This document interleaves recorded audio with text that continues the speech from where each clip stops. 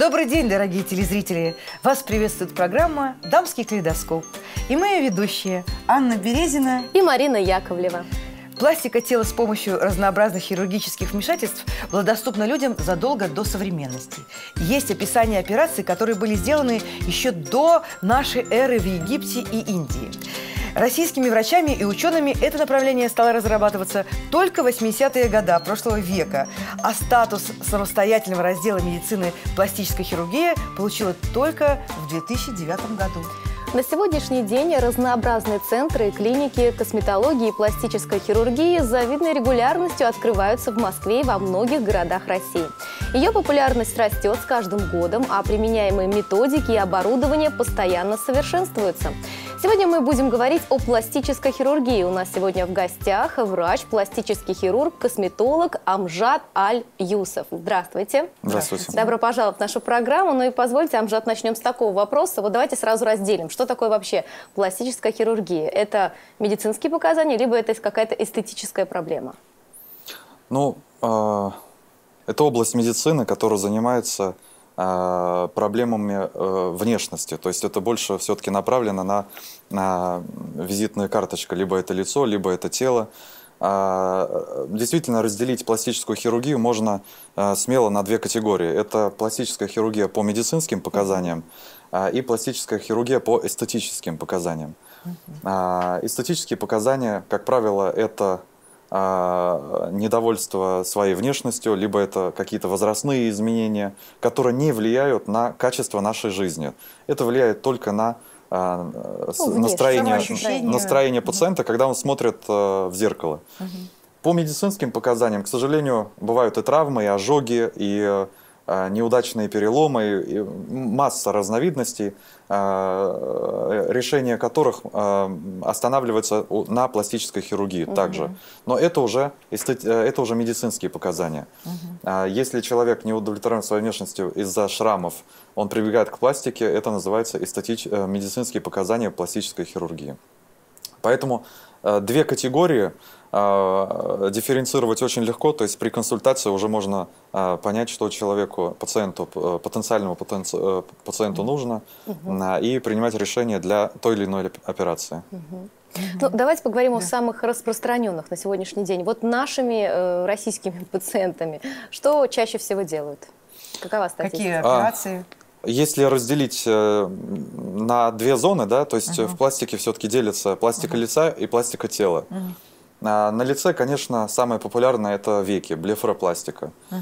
а, значит, э, тоже можно, кстати говоря, разделить на две категории: медицинские и эстетические показания. Медицинские это когда уже а, настолько нависшие веки, что это мешают -huh. нормальному взору, то есть -huh. у человека опускаются веки, давят на глаз, он э, щурится, ему тяжело концентрировать, фокусировать свой взгляд. А, ну а медицинские, а, эстетические показания, а, они уже никак не влияют на наше здоровье, на взор. Они просто недовольство своей внешностью приводят к этой операции. -huh. Значит, это по лицу самые популярные веки. На втором месте я бы поставил бы а, ринопластика, это Нос, исправление да? носа, угу. да. Угу. А, дальше это подтяжка лица. Угу. А, значит, касаемо тела. А, касаемо тела, первое, конечно же, это мамопластика, это грудь. грудь. Угу. Да. А, угу. Тоже разновидности масса, а, увеличение груди, уменьшение груди. А, пути увеличения тоже делятся путем а, имплантирования угу. а, инородного тела. А, можно собственным жиром увеличивать. Угу. А, Вторая, вторая, э, значит, дальше с грудью мы можем уменьшать из-за птоза груди э, э, по разным причинам, то есть из-за родов, из-за возраста. Это в, в первую очередь грудь, значит, как мы говорили. Угу. Вторая очередь это э, липосакция э, той или иной зоны. Ну, в основном, конечно же, это живот, удаление жира. бока, угу. да, удаление жира. Это живот, бока. А, ну и э, бедра, ноги, голени угу. и так далее. Ну, вы с нами поделились, что знаете сейчас новые современные технологии да, в медицине да. с помощью... Э, Взгляд Клеопатры. Нет, нет, нет, нет, нет, нет я про липосакцию, да, что с помощью какого-то нового метода, да? А, да, сейчас набирает популярность ультразвуковая да. липосакция. Угу. Она Стандартная липосакция – это вакуумная липосакция. То есть идет э, разрушение жировой э, Откачивание клетчатки. жира тогда? Да, откачивание обычным вакуумным способом, uh-huh. ну, грубо говоря, пылесос. Да? Uh-huh. То есть, э, да. А, а новая технология? Новая технология – это ультразвуковое разрешение э, э, клеток жира. Э, это менее травматично. Э, значит, э, по результатам э, кожа разглаживается, она становится ровной и ложится э, ровным пластом на Э, новую ткань, которая образуется под э, слоем жира удаленного. То есть более эффективный, да? Более эффективно, более эстетично и, э, я бы сказал, бы более безопасно, да, потому что там все же меньше гематом, угу. синяки, отеки, все это гораздо лучше проходит для пациентов в плане реабилитации. А намного дороже это новое новшество? Новое... Вы знаете, аппарат дорогой очень, к сожалению, угу. но я думаю, со временем все это, как новая технология, Внедрится. удешевится, да, Удешевится. поэтому... Пока если, дорого, если пока можно, дороже, да? Если можно терпеть, потерпите еще годика два-три, если нет, то... Нет, не намного дороже, я думаю, процентов на 20-30, чем, чем обычная а, ну, э, вакуумная да. липосакция. Угу. Ну и, конечно, ваш вот взгляд. Ваш знаменитый взгляд Клеопатры. Да, взгляд Клеопатры. А, ну, это а, очень многие женщины хотят получить миндалевидные глазки. То есть, uh-huh. и они боялись э, до определенного времени, что после блефаропластики у, нас, у них округлится глаз. Очень много вопросов у меня поступало. Uh-huh. Они будут, не будут ли глаза круглые, как у той или иной uh-huh. известной пациентки. А, и э, методика разреза новая, моя, да, угу. она позволяет нам предотвратить э, округление. округление глаза, и мы можем даже придать миндалевидность, миндалевидную форму глаза. Угу. Ну, Э, по, по работам вы можете это увидеть, конечно же, э, как это выглядит. Э, изменяется форма глаза, человек, пациент какое-то небольшое время привыкает к своим новым глазкам, uh-huh. но... Паспорт менять не надо будет после этого? Паспорт, да, кстати говоря, очень много спрашивают. У меня многие пациенты приезжают из других стран, а, ну, причины разные. Значит, э, и они меня спрашивают, а меня узнают на паспортном контроле? Не, ну как проблем не было, узнают все. Да? Да. У каждого разная задача. Приходит к вам для того, чтобы изменить свою внешность, улучшить, естественно. Кто-то хочет кардинально там просто все изменить. Но мне кажется, что надо хорошо выглядеть на свой возраст. Вот так. Ну, или, вы... или надо сразу прямо из, от бабушки в девочку превращаться? Как, вот, как вы ну, советуете, как хирург? Вот что вы говорите таким пациентам? Вы знаете, а, э, я такие а, вопросы оставляю без ответа. То есть угу. пациент приходит, что вы, вы бы во мне изменили угу. бы, как вы считаете, что лучше, что я могу посоветовать по медицинским показаниям, как врач, угу. да, я советую сделать ту или иную процедуру, угу. вам будет легче жить. Но по эстетике это настолько щепетильный вопрос, и угу. а, вы, женщина, к сожалению, у вас настроение Не меняется. постоянство, да? Да, и сегодня вы захотели, послушались моего совета, вы дико рады, а через месяц вы можете прийти и сказать, я зря я вас послушала, лучше бы я осталась такой. Поэтому это вопрос, который остается безответным, и на него ответ только вы сами должны получить. Вы подписываете ага. бумагу, никаких претензий. И да, все, естественно, да. составляется договор ну, для да. того, чтобы... Ну, кого-то вы отговариваете, все-таки да, приходит, отга- например, приходится... безумный, вот я задала этот вопрос, потому что приходит с безумными какими-то, хочу там на Кена походить, хочу быть похожим на Барби, там, но это другое, это какое-то отклонение там, но бывает, что просто какие-то, ну, Перебор, не нужно да? вам это, вы объясняете, ну, бывают такие отказы? Или Конечно, бывают отказы, и довольно часто, практически каждый день.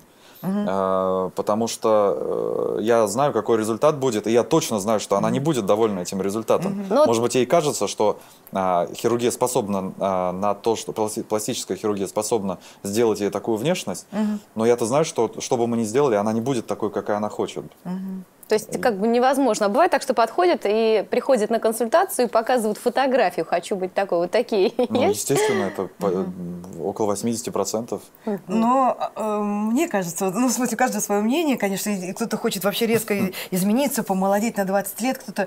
А мне кажется, чтобы главное, чтобы узнавали как-то, понимаете, ну, вышел... а за... я, тоже... я знаю пример, когда, когда актриса сделала, говорит, здрасте, я та, та, такая-то. Я так, ой, здрасте, ой, правда. То есть, э, и пять лет она просто потеряла свое лицо, человек. То есть это, это драма, мне кажется, целая просто драма. Ну, э, тут э, тоже нужно понимать, э, для чего проводится консультация, довольно mm-hmm. длительная. Иногда mm-hmm. она доходит до двух часов. Mm-hmm. Когда мы э, четко подбираем с пациентом, что она хочет видеть. Если она хочет угу. освежить лицо, либо она хочет измениться на 5 лет, либо она хочет быть такой, как она была 20 лет назад, угу. а, либо она хочет выглядеть на свой возраст, вот как вы сказали, ухоженно, красиво, угу. а, и а, не бросаться в глаза, что она сильно переделана. То есть вот эти моменты вы должны а, четко обсуждать для того, чтобы принять правильное решение в выборе методики, в выборе, а, какую операцию проводить, да, угу. это тоже очень важно. И от этого зависит э, исход операции. Угу. А вот совсем молодой возраст пациентки является ли ограничением к операции?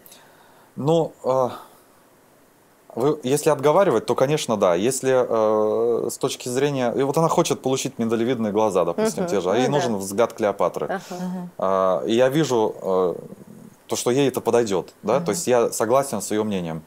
А, я делаю операцию, и мы оба довольны угу. результатом. И, кстати говоря, а, вот если переходить э, о, с медицинского аспекта на психологического, э, психологический аспект, угу. Пациенты после получения той внешности, о которой они думали, которую они хотели, у них налаживается личная жизнь, им становится легче э, воспринимать этот мир. Общаться они, да, начинает они, себя любить. Да, она начинает нравится. себя в первую очередь любить, да. Она угу. понимает то, что она получила то, что хотела, и дальше она идет э, исполнять другие свои желания. Угу. Она не становится э, зацикленным на своей внешности человека из-за той или иной погрешности, как ей угу. кажется. Конечно, большая помощь. Это, если люди бывают, худеют там, со 100 килограммов до 50, конечно, естественно, кожа обвис, обвисает, все. И вам такие сложные операции приходится делать, да, по удалению этой лишней кожи. Ну да, абдоминопластика, липосакция, это же, конечно. Угу. Угу. Ну, а мы да, говорим все, она, она, да? А мужчины да. делают пластические э, операции? Вот насколько сейчас процент мужчин возрос? А с каждым годом а, я наблюдаю, что все больше и больше мужчины прибегают к пластическим операциям. Угу. А, что делают мужчины? Что больше всего? Чаще всего какие операции делают? Круговые подтяжки? А, круговая подтяжка лица, блефаропластика та же, ну, а, филлеры, же. ботокс. Э, то есть э, практически все то же самое, что и mm девушки, что женщина, но ну, конечно, не мама пластика, да, то есть не самая популярная. Да, да, но бывает такое, бывает, ведь у мужчин тоже комплексы свои какие-то там а, да, там э, по уменьшению наоборот. по уменьшению груди, то есть липосакция угу. молочной железы, э, липосакция угу. значит э, молочной железы у мужчин. Угу. такое часто бывает. причина ну, большие груди, да, угу. гормональное отклонение. Такое бывает. Но я считаю это по медицинским показаниям. Да. Даже. А бывает ли те, которые хотят сделать такой, знаете, как, э, такой торс в квадратиках и вставляют даже какие-то пластины, я видела. Это Нет, торс, американцы, а, кубики, да. да. Бывают такие у вас? Бывали случаи? Да, бывают, которые хотят такой результат. А, вот, кстати говоря, о новом аппарате липосакции, ага. вот он именно это может может, делать, можем да? достичь да, до уровня квадратиков. Э, То есть это не вставляя никакие пластины, просто... Да, просто вот... подчеркивать свою собственную мускулатуру. Обалдеть. Ну, ну, наверное, самый важный вопрос все-таки для наших телезрителей, как пластический хирург, скажите, вот не называя, конечно, ту клинику, в которой вы работаете, вот как правильно выбрать врача, клинику, на что обратить внимание в первую очередь, чтобы не было никаких-то, ну, неприятностей, потому что очень много снято передач по этому поводу и написано, очень много жалоб, но вот, наверное, самая главная ошибка в том, что неправильно выбирает хирурга, да, и клинику.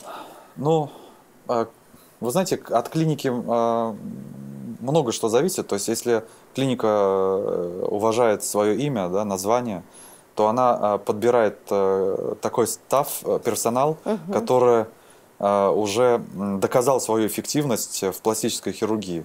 Если эта клиника на рынке уже более там, допустим, 5 лет, на 10 угу, лет, то, конечно, это уже показатель. показатель Вы можете показатель. почитать про нее, Отзывы посмотреть, узнать. Да. Отзывы, к сожалению, в наше время угу. а, не совсем отражают реальность, потому угу. что есть очень много заказных отзывов, очень много очень много отзывов э, лживых от конкурентов. То есть это не всегда на 100%. И бывает су- субъективные, бывает, ну не нравится что-то, а внешне тут все говорят красиво, а человеку ну, Да, поэтому отзывам э, я бы не стал бы доверять на 100%. А, п- Конечно, это в комплексе должно быть, но в- а, итог это должен таков. Вы приходите к врачу, вы консультируетесь, вы смотрите его собственные работы. А, У каждого а, врача должна быть э, работа до и после. Портфолио как Портфолио, да. А, И вы смотрите на результаты. А, Этих результатов должна быть не, одна, не один десяток, не од- а может быть и не одна сотня, для того, чтобы а, вы удостоверились в том, что вы действительно общаетесь э, с профессионалом своего дела, и вы можете э, довериться ему. А, Образование, а, э, стаж, то есть, Работа. естественно, со- со вс- с уважением к начинающим специалистам, но за 2-3 года э, сложно оперировать э, с гарантированным результатом. А, ну, как-то так, надо комплексно подходить ко всему. Ну и в завершение, Амжат, пожелайте что-то нашим милым телезрительницам, чтобы они оставались Я, я желаю, чтобы, красивыми. чтобы воздействие время, времени было минимальным и минимально отражалось на лицах. И красота, как это не банально, это красота души. Э, И счастье, которое э, э, отражается на глазах, оно затмевает любую э, физическую красоту Мгм. внешности. Мгм. Спасибо Спасибо. большое, Спасибо спасибо. большое за участие в нашей программе. Спасибо. Ну, а нам осталось напомнить, что в гостях у нас сегодня был врач, пластический хирург Амжат Аль-Юсев. Ну, а наша программа продолжается. Вернемся через несколько минут. Мы часто затрагиваем темы, касающиеся женского здоровья. И сегодняшняя наша программа не исключение. Казалось бы, современные женщины стали гораздо более информированными, чем предыдущее поколение. Они точно знают, что посещать врача-гинеколога и мамолога необходимо два раза в год, а беременность планировать заранее. Но одно дело знать, другое дело следовать этим советам. Большинство из нас по-прежнему до последнего оттягивает поход к специалисту, полагая, что неприятные симптомы исчезнут сами собой. Сегодня о том, что такое миома матки и чем она опасна, мы поговорим с нашей гостьей, гинекологом Натальей Млодик. Здравствуйте. Здравствуйте. Здравствуйте. Ну, Добро скажите, пожаловать. пожалуйста, добро пожаловать на- снова к нам. А, ну что ж такое миома матки? Миома матки – это доброкачественное образование мышечной ткани матки. Э, Получается такая ситуация, когда э, за счет того, что нарушается гормональный фон у женщины, начинает э, делиться быстро и неправильно ткань матки. И вырастает узелковое образование больших и маленьких размеров. Их строение бывает разное. Бывает с преобладанием гладкомышечной ткани, мы их называем леомиома. И бывает с преобладанием фиброзной ткани, мы их называем фибромы, эти узловые образования. Но все это образование, они однозначно доброкачественные. Но в том числе они могут быть и больших размеров и доставляют большие неприятности женщинам. Поэтому обязательно нужно а, проходить наблюдение гинеколога, диспансерное обследование каждый год женщинам любых возрастов. Потому что миома бывает в любом возрасте у женщин. То есть и даже у совсем молоденьких, Даже да, не совсем- рожавших, Даже допустим. не рожавших. А да. почему они возникают? Да, вот причины какие? Нарушение гормонального фона. Чаще всего это нарушение гормонального фона. А причина таких нарушений, ну, в современном мире это и стресс, и неправильные какие-то позиции уже в организме, которые регуляция неправильно гормональным процессом происходит. А, И многие факторы, сопутствующие, наследственные, например, факторы, а, ожирение, сахарный диабет, наличие других эндокринных заболеваний в организме, они способствуют тому, что у женщин возникает миома матки. Раз- развивается. Но э, обязательно ее операбельным путем или, не, или как-то можно или не обязательно операцию Можно любым путем ее пытаться лечить. Сначала мы наблюдаем, смотрим, как она расположена, в каком месте матки она расположена, в каком слое матки она расположена. Там тоже есть классификация определенных э, методов и лечения, связанных с анатомией этих узлов. Соответственно, бывают внутренние узлы, которые расположены в слизистом слое, под слизистым слоем. Это самые неблагоприятные узлы, которые вызывают кровотечение. Есть наружные узлы, которые расположены сверху поверхности матки. Они наиболее благоприятные. Есть э, средние межмышечные узлы. И есть еще так называемые узлы на ножке. Они бывают и наружные, и внутренние. Но это такая хирургическая как бы градация, которая, в принципе, э, принципиального значения не имеет. Миома – это миома. И, э, соответственно, лечение бывает бывают разные, бывают консервативные. То есть мы пытаемся медикаментозно лечить, наблюдать, отслеживать в динамике, как себя ведет заболевание. Если у нас не получается медикаментозно, мы тогда уже преследуем другие цели хирургическим путем, пытаемся решить этот вопрос. Хирургический метод тоже есть разный. Есть лапароскопический, наиболее щадящий, когда через несколько проколов в животе удаляются от, от, только отдельные узелочки. Угу. Есть более такой а, радикальный, кардинальный метод, когда удаляется а, та же самая узловая форма, выросшая на матке через разрез в животе.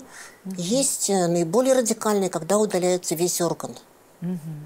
Сама ну, матка, да? Сама матка. А вот как понять, что именно это заболевание? Каковы симптомы э, миомы матки? А симптомы Иногда их не бывает. Иногда женщина приходит просто на осмотр, угу. гинеколог смотрит на кресле, либо делает УЗИ и, соответственно, говорит о том, что у нее а, есть миома матки. Угу. Иногда женщина отмечает обильные месячные, угу. иногда межменструальные кровяные выделения.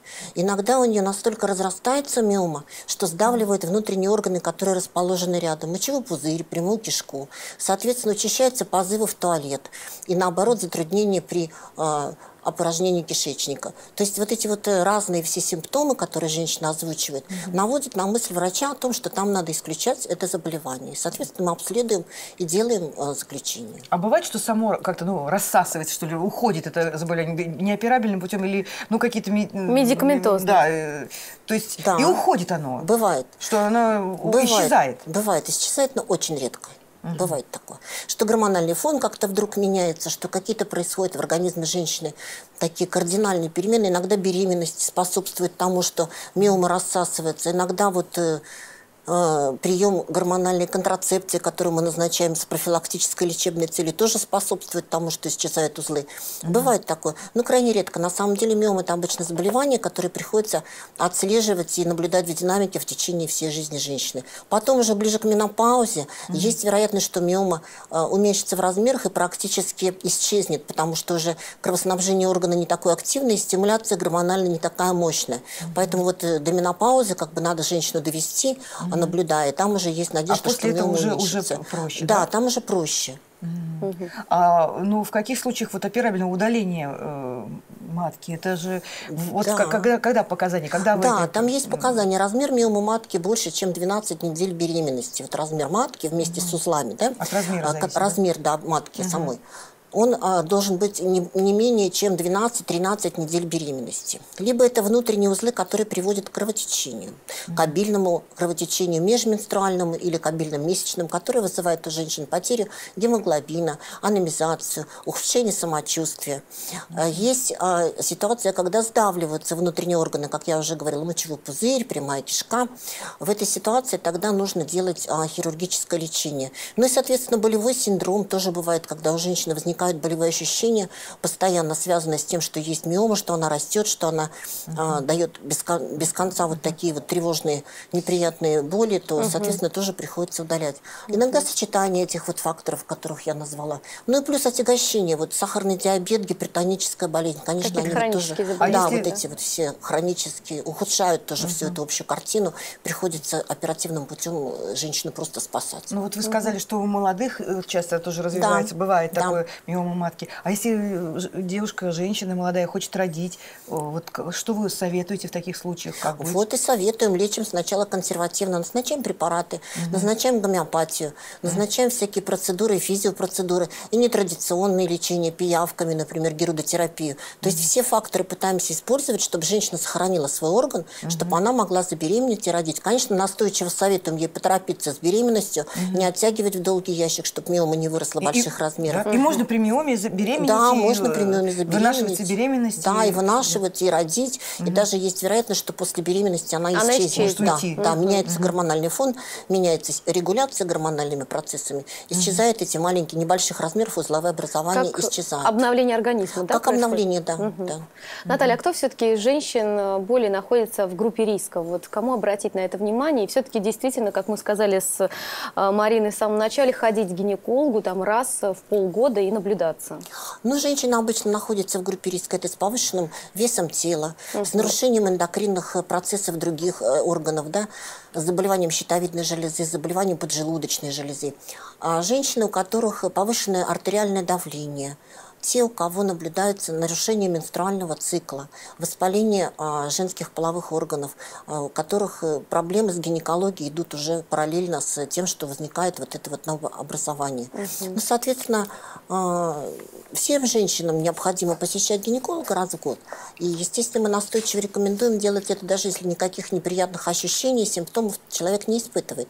Тем не менее, иногда вот как находка на приеме возникает неприятное, что мы диагностируем миому. И поэтому лучше начать лечение и наблюдение в малом, так сказать, объеме, когда еще проблема не настолько велика, чтобы потом уже избежать э, хирургических серьезных э, лечебных мероприятий. Ну, сейчас есть методики современные, сейчас более щадящее есть лечение. Сейчас можно и... Ну, пока до операции, угу. что еще много-много да, методов, много да? методов еще, да, еще можно дойти, так сказать, до них. Вот. Угу. Есть там э, современная методика, называется метод эмболизации маточных артерий. Ух ты, это вот. что это, такое? Это очень такой вот, э, можно сказать, э, ноу-хау в медицине, но, правда, используется очень давно уже для других целей, там, с целью подготовки к операции по удалению миомы. Там эту методику использовали как бы э, узловые образования делали менее объемными, более засушенными. Угу. Вот. Там смысл такой, что в бедренную вену женщины угу. вводится специальное вещество, которое по маточным артериям поступает к этим узловым образованиям, и под действием этого вещества узловые образования у нас высыхают, то есть питание там у них прекращается, они высушиваются, даже исчезают иногда полностью. И матка получается у нас э, нормальных размеров и нормальной структуры практически угу. после такого вот лечения. А противопоказаний много? Противопоказаний там есть определенные, но их не так много. И методика достаточно безобидная и, в общем-то, эффективная, и очень качественно все это проходит. Угу. Там. Ну, правда, специфика есть. Нужно, чтобы узлы, которые мы пытаемся удалить таким образом, были очень активного кровоснабжения. Чем они активнее кровоснабжаются, тем легче это кровоснабжение уменьшить и э, получить хороший эффект. Угу. Наталья, а посоветуйте, как врач, вот если, а, допустим, пациентка пришла к одному да, врачу-гинекологу обнаружили, по там, УЗИ, либо по осмотру угу. на кресле, да, нужно ли сходить к другому такому же врачу, посоветоваться, если тебе сразу назначили операцию или что-то под сомнением, потому что очень, ну, часто бывают такие встречаются ситуации, ставят да. какой-то диагноз, а потом через какой-то промежуток времени оказывается, что он был поставлен неправильно. Ошибочно. Да. А так и бывает. У меня очень часто бывают такие пациентки, которые же приходят с папкой анализов, вот. с папкой исследований УЗИ, с папкой там каких-то заключений, рекомендаций, назначений, угу. которые говорят, я хочу услышать еще одно мнение. Есть такие такие случаи, и это правильно, потому что два-три мнения всегда оно более угу. полноценно картину нам э, угу, покажет, покажет, да, и мы не ошибемся в выборе, в выборе тактики. Э, часто случается такое, что женщина приходит, не говоря о том, что она уже где-то была, начинает рассказывать свою историю, осматриваемся, делаем а, пишу а, назначение, какие там надо сделать дополнительные обследования и какие как бы вот уже наметки на дальнейшую биографию этой вот э, женщины mm -hmm. ей а, озвучиваю. И вдруг она мне говорит, а я уже знаю, я уже была, мне уже это говорили, мне уже вот то-то, то-то рекомендовали. Вот я очень довольна, что получила подтверждение. подтверждение. У вас то же самое, mm -hmm. да, и что mm -hmm. вот, в общем-то, я свои все вопросы закрыла. Такое тоже бывает. Mm -hmm. Ну и мы затронули уже разговор народной медицины, да? да, да как да. вы, как врач, все-таки традиционной медицины относитесь относитесь к этому? Ну, вот вы при, пример привели, как пиявки, ну, да, геру, лечение? Герудотерапия, Герудотерапия, да. да, да. Вот если женщины используют советы, которые масса написаны в интернете по поводу даже миомы матки, вот лечения, все-таки есть опасность того, что мы можем еще хуже себе сделать? Конечно. Я как скептик, я как врач, я вообще, конечно, против всяких этих вот самолечений, угу. всех вот этих вот... Э, ну да. Посмотрела в интернете да. и решила да. полечиться. Я, конечно, категорически против и никогда это не советую, и не советую советовать никому. Ну да, да, серьезные такие. Герудотерапия, да, тут действительно есть механизмы, которые могут нам помочь в данной ситуации, но, по крайней мере, не ухудшить э, проблему. Угу. Хотя, конечно, индивидуально, сколько людей, столько у них особенностей в организме, может быть, индивидуально у кого-то и проблемы могут и ухудшиться. Тут нужно рассматривать каждого человека вот в целом как ну, уникальную систему, угу, да. Угу. Ну, а вот какие вот меры профилактики миомы матки? Что нужно делать, чтобы, ну, как-то минимально, а как-то себя обезопасить? Стараться, чтобы не вмешиваться в свой гормональный фон. Стараться не делать э, абортов, стараться не переносить э, каких-то резких э, гормональных мощных ударов по организму, то есть вот не использовать часто средства гормональной экстренной контрацепции. Сейчас же есть такие препараты, угу. которые девушка принимает, чтобы предотвратить внеплановую беременность. То есть одномоментно пьется препарат, вот стараться не злоупотреблять такими препаратами, чтобы не сбивался гормональный фон, избегать стрессов, вести правильный образ жизни, не курить. Не пить, не пить. А вот вы сказали о гормональной контрацепции, да, а если девушка, ну, принимает постоянно, да, это не нарушение, это не там э, дело в том, что индивидуально подбираются препараты. Угу. иногда мы даже рекомендуем, у кого есть тенденция к миоме матки или какая-то миома уже в небольшом размере присутствует, мы даже рекомендуем определенная группа препаратов, угу. которые являются и контрацептивами тоже. Угу. Вот, и они нам идут э, как лечебные как да, да, назначения в данной ситуации. Угу. А так существует еще отдельное гормональное лечение, которое не является контрацептивным, тоже при миоме матки. Гормональный препарат непрерывно применяется, там разные группы есть препаратов и в инъекциях, и в таблетированных формах. Там очень много, на самом деле. Угу. Нужно врачу просто индивидуально с каждой пациенткой эти вопросы обсуждать, обговаривать, конечно. Угу. Ну что же, мы благодарим нашу гостью Наталью Юрьевну Млодик за содержательную беседу и полезные советы. Будем рады вновь видеть э, вас в нашей передаче. Ну а наша программа продолжается.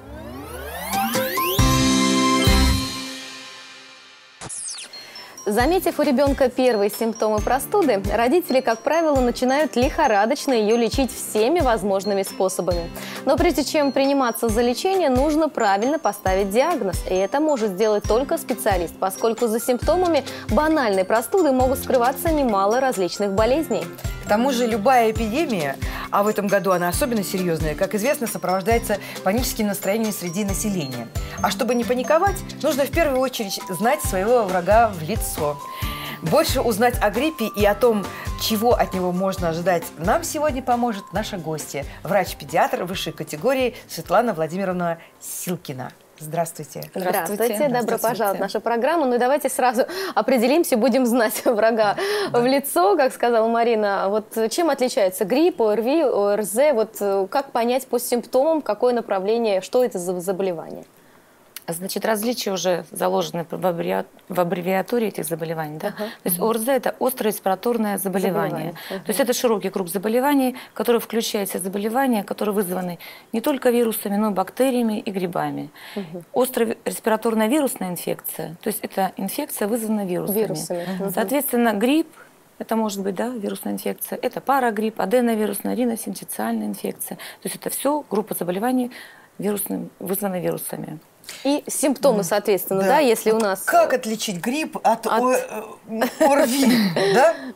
Нет. Значит, ну, грипп, во-первых, это и есть, есть ОРВИ, ОРВИ, да? ОРВИ, да. ОРЗ. Вот в, первые ОРЗ, дни, в первые дни очень тяжело отличить, поэтому пациентам мы всегда рекомендуем, что uh-huh. все-таки если самочувствие ребенка, ну, я говорю, касается uh-huh. детей и взрослых, uh-huh. вызывает какие-то опасения, то есть это очень высокая температура, да, uh-huh. наличие признаков интоксикации, то есть это головная боль, uh-huh. значит, тошнота, тошнота да? может ломота. быть, да, ломота, uh-huh. то есть как бы гиперестезия, так, uh-huh. то есть мышцы болят, суставы ломят, да, uh-huh. и очень высокая температура все все-таки мы склоняемся, что это похоже на грипп, угу. если в первые сутки. При этом катаральные явления, такие как заложенность носа, там боль в горле, першение, кашель, это значит, появляются такие симптомы только где-то второй-третий день. Угу. То есть это все-таки мы склоняемся, что больше угу. грипп, либо вирусная инфекция. Угу. Если же это острая респираторная инфекция, угу. то на первый план, наоборот, выходят у нас катаральные явления, то есть респираторного тракта заболевания. То есть угу. першит в горле, угу. кашель появляется, он может быть сухой, мокрый, угу. заложенность носа, угу. насморк. Угу. Ну и температура при этом может быть невысокой. Хотя, в общем, различные бывают, так сказать, и заболевания ОРЗ тоже включает различную группу заболеваний все-таки для постановки диагноза нужно обращаться к врачу. К врачу специалисту. Конечно. Грипп да. – это инфекция, значит, да. вот где-то кто-то чихнул, попала бацилла, бактерия, и ребенок заболел. А ОРВИ – это простуда, ослабление иммунитета, да? Вот, значит, вот, ОРВИ вот, значит, это вирусная инфекция, да. только вирусами. Да. Значит, и грипп, и аденовирусная, и риносинтециальная инфекция да. – это только значит, при контакте с больным человеком, угу. когда возбудитель попадает посредством верхних дыхательных путей, через верхние дыхательные пути. А вот ОРЗ – это респираторные заболевания, да? Да. Здесь могут быть, как включать в себя, и заболевания, вызванные бактериями, и вирусами, ну и, так сказать, группа простудных заболеваний. Собственно, простудные заболевания – это, так сказать, обывательский термин, да? То Или какие-то хронические значит? заболевания. Это обострение хронических заболеваний, которое протекает на фоне пониженного иммунитета. Потому что у каждого человека есть своя флора. То есть, которая представлена бактериальной флорой, то есть стрептококки, стафилококки. И вот при понижении иммунитета, которое возникает при возникновении вот этих вот температурных скачков. То есть своя флора, так Да. сказать, поднимает голову, начинает расти. Вот вам и ОРЗ получилось. ОРЗ. Вот и простудное заболевание, Э, да. Как мы можем, как родители, могут помочь э, своим детям при первых симптомах? Давайте разделять ОРЗ и ОРВИ. Вот э, что первое? Если, допустим, высокая температура, это мы знаем, что вирус, да, предполагаем. Как ее снижать? Как правильно снижать? Нужно ли самостоятельно снижать? До какого периода времени ждать? До каких градусов? Понятно. Значит, если родители обнаружили, что у ребенка поднялась температура, если температура достигает субфибрильных цифр, то есть это маленькая, 37,1, 37,2, 37,3, такую температуру не надо снижать. Не трогать лучше. Нет, потому что температура имеет защитное свойство. То есть при температуре 38 градусов и выше вирусы, бактерии, они погибают в организме. То есть это защитное свойство организма. Организм борется с внедрением вот этого агента чужеродного. Если же мы, у ребенка поднялась температура 37, мы снизили, можно сказать, мы его иммунитет, в общем-то, к нулю. Ну, не снесли к нулю, но, в общем, не даем работать, Работать иммунитету. организму, да. Поэтому считается, что если у ребенка нет противопоказаний никаких, да, то есть это наличие в анамнезе судорог фибрильных, ну, такие родители знают своих детей, Да, да, да. тогда температуру до 38,5 градусов мы не сбиваем в домашних условиях. То есть мы не трогаем эту температуру.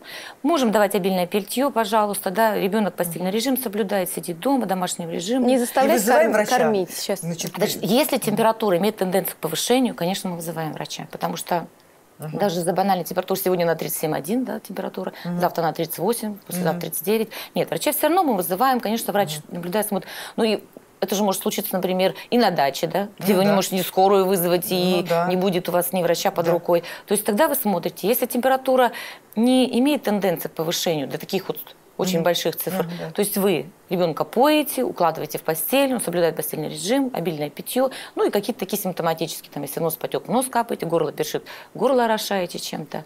Если же температура значит, ниже, ну, значит, такие цифры не очень высокие, но сохраняется тоже длительно. Это тоже симптом, что это все-таки бактериальная инфекция, ну, какая-то инфекция, с которой организм не справился. То есть, если даже 37,1 температура, но она в течение до 5 дней, то есть тоже колокольчик, что нужно, чтобы доктор осмотрел такого ребенка. По поводу еды, нужно ли заставлять ребенка есть, если он болеет? Это Значит, вопрос, сейчас касающийся вообще бабушек. вопросов сейчас, вот этот вопрос вообще дискутируется. Значит, одно мнение врачей существует, что не нужно кормить, да, ребенка. нагрузка То есть, да, как бы нагрузка. А другое мнение, что ребенку нужны силы Силы, ага. для того, чтобы бороться с инфекцией.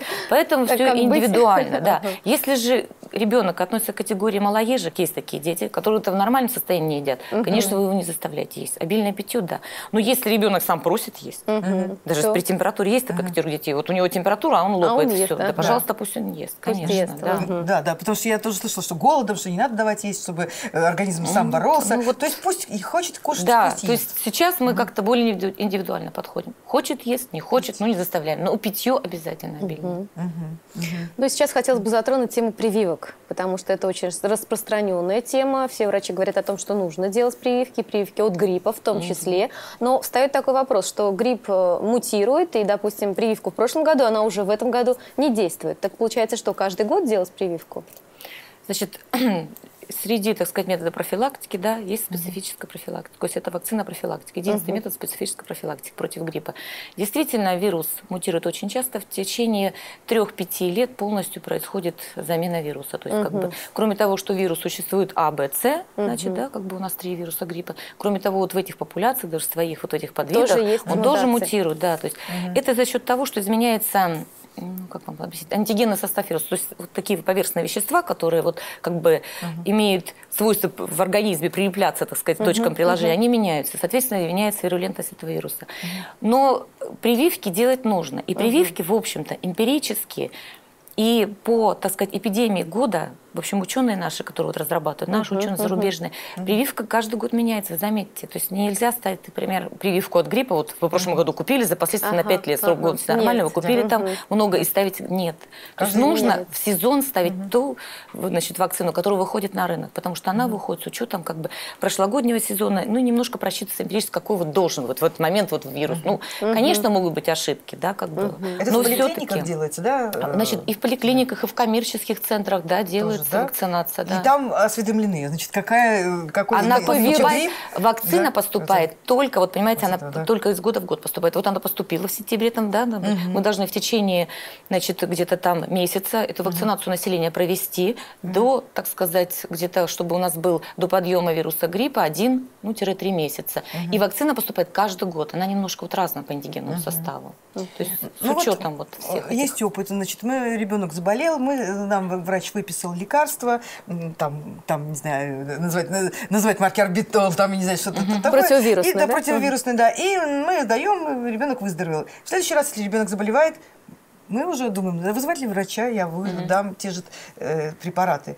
Можно ли это делать? И... Будут ли они действовать? Будет ли значит, действовать? смотрите, значит, во-первых, все тоже нужно подходить индивидуально. Если ребенок угу. маленький, то угу. есть дети до трех лет обязательно нужно, должна осмотреться врачом, потому угу. что осложнения детей первого года жизни особенно, они могут вообще в течение 8 часов наступить. То есть он с утра просто температурил, к вечеру у него может быть пневмония. Понимаете? То есть mm для детей младшего мы вообще не рассматриваем, то есть ага. самолечение. Угу. Если же дети более старшего возраста, да, например, После и ребенок, вы видите, что у него нет ничего криминального, то есть температура у него не высокая, не гектическая, ну такая 37,1, 37,5. И, в общем-то, нет признаков интоксикации.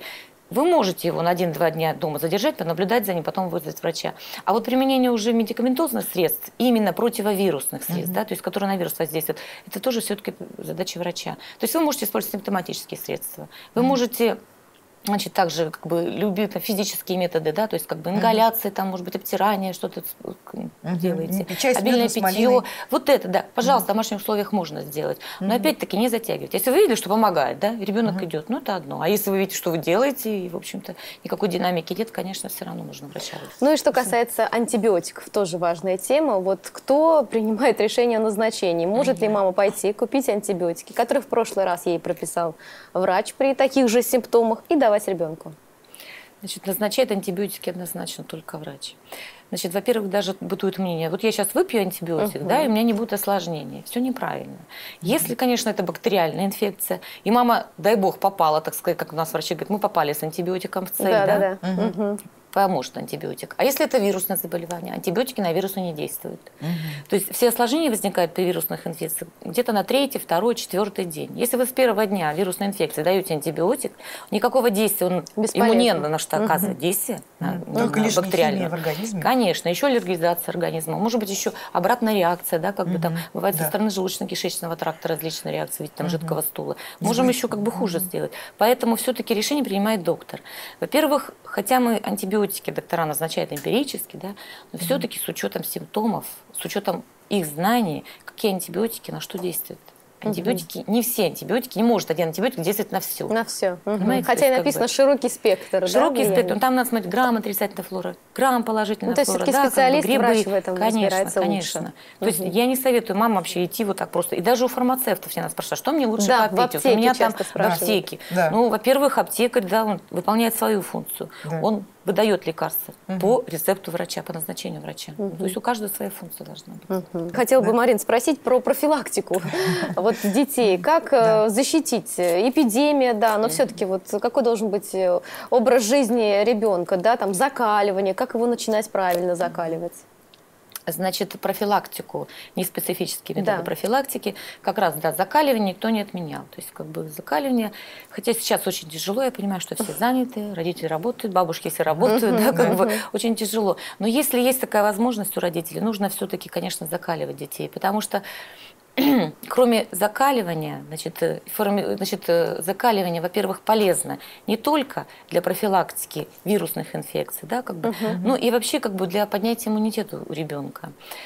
Тяжело закаливание начинать, это очень кропотливая работа, ведь начинается угу. с, с низких температур, э, значит, ну, с теплых так сказать, температур, нравится, да, как бы детям не нравится, это все постепенно, все. Угу. Ну, методики есть, то есть как бы за две минуты я это не расскажу. Кроме закаливания, угу. правильное питание – Хотя сейчас мы тоже все вроде забыли про это, но все равно это состав, да, биологический состав пищи, то есть это наличие витаминов, макро-микроэлементов, белки, жиры, углеводы, то есть все, что, что нужно, сбалансированное питание, правильный режим труда и отдыха, то есть чтобы за уроками ребенок там сгорблен 10 часов не сидел или за компьютером. то Не есть переутомлялся тоже. пере- Точно, да. Переутомился, он покушал, погулял, там сходил, опять там приступил к своим выполнению своих занятий.